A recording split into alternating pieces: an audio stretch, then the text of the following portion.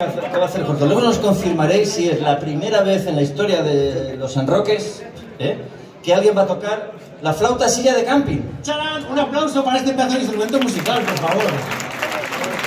No hay truco alguno, esta cosa es una silla de camping normal, con seis agujeros y otro para soplar. La idea de construir un instrumento musical así nos la dio el gran Xavi Lozano, un amigo nuestro, que tiene un espectáculo en el que toca una valla de obra, toca la muleta de su abuelo, bueno, cualquier tubo en sus manos se convierte en un instrumento de viento y por eso nos dio la idea de crear la silla de camping flauta fetén que nosotros empleamos para hacer un homenaje a la dulzaina porque siempre en todos los sitios que vamos nos gusta hacer una melodía, la mudanza de la pinariega, una melodía que siempre se toca el día de la fiesta, todos bailamos ahí una jota, y bien, normalmente se hace con una dulzaina y con una caja, pero en esta noche especial lo vamos a hacer con una silla de camping y una cuchara. Claro que sí.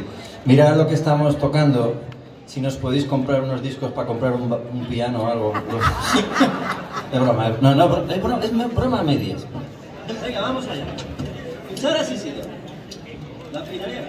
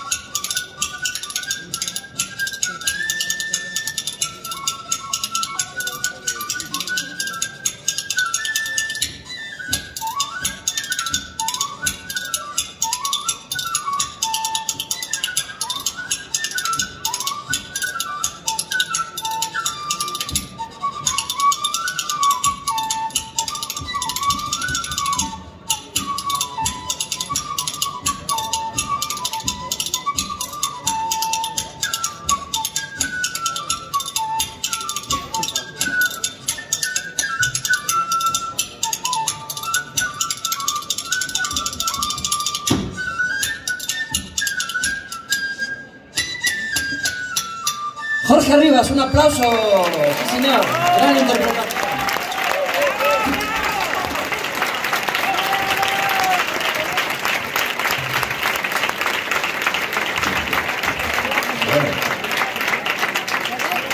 Oye, a lo mejor hemos dicho lo de que a lo mejor era el primer San Roque, pero luego nos decís, no, todos los San Roques viene alguien a tocar la silla de camping. Ya, nos decís luego, si es así.